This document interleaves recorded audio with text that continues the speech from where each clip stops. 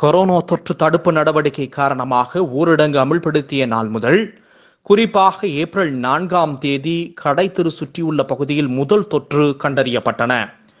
இதன் பின் நாகை கடைத்தெரு உட்பட மாவட்டத்தின் பதிமூன்று பகுதிகள் தடை செய்யப்பட்ட பகுதிகளாக அறிவிக்கப்பட்டன. இந்நிலையில் கடைசி தொற்று கண்டறியப்பட்டு இருபத்தி எட்டு நாட்கள் நேற்றோடு முடிவடைவதாலும் நாகை வர்த்தக தொழிற்குழுமம் மாவட்ட நிர்வாகத்தோடு ஆலோசனை செய்து பாதுகாப்பான முறையில் அரசின் விதிகளுக்கு உட்பட்டு வாணிபம் செய்ய உத்தரவாதம் அளித்ததின் பேரிலும் மாண்புமிகு கைத்தறி மற்றும் துணிநூல் துறை அமைச்சர் ஓ எஸ் மணியின் உத்தரவின்படி மாவட்ட நிர்வாகத்தின் அறிவுறுத்தலின்படி நாகை நகராட்சியின் மூலம் தடுப்பு கம்பங்கள் அகற்றப்பட்டு பெரிய கடைத்தெரு பொதுமக்கள் பயன்பாட்டிற்கு திறக்கப்பட்டன.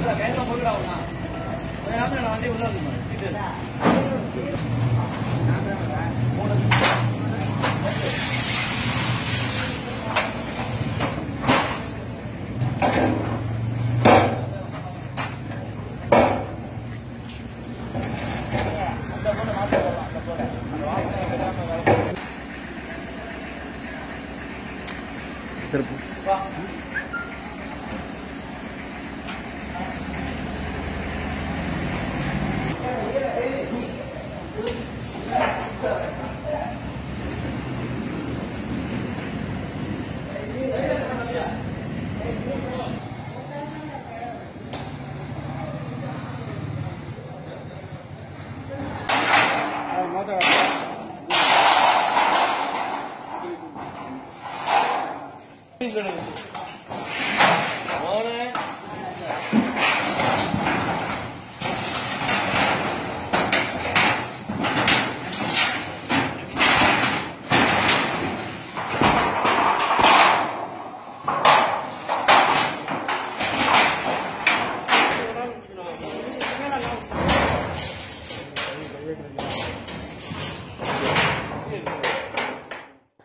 மேலும் கடைத்தெரு வரும் வாடிக்கையாளர்கள் முகம் கவசம் அணிந்து வருதல் சமூக இடைவெளி உள்ளிட்ட அத்தியாவசிய முன்னெச்சரிக்கை நடவடிக்கைகள் பின்பற்றப்பட வேண்டும் என நகராட்சி நிர்வாகத்தின் மூலம் வலியுறுத்தப்பட்டுள்ளது.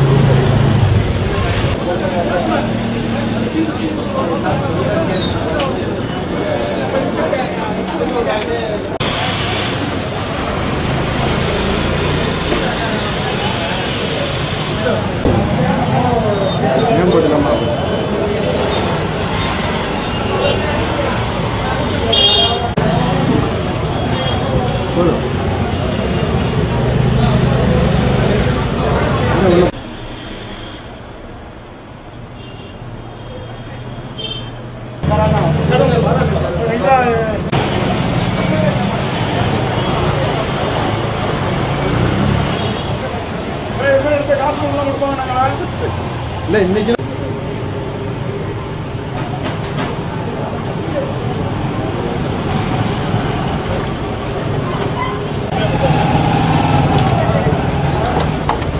சரி பாபா அவங்களுக்கு கொடுத்து சொல்லிடுங்களா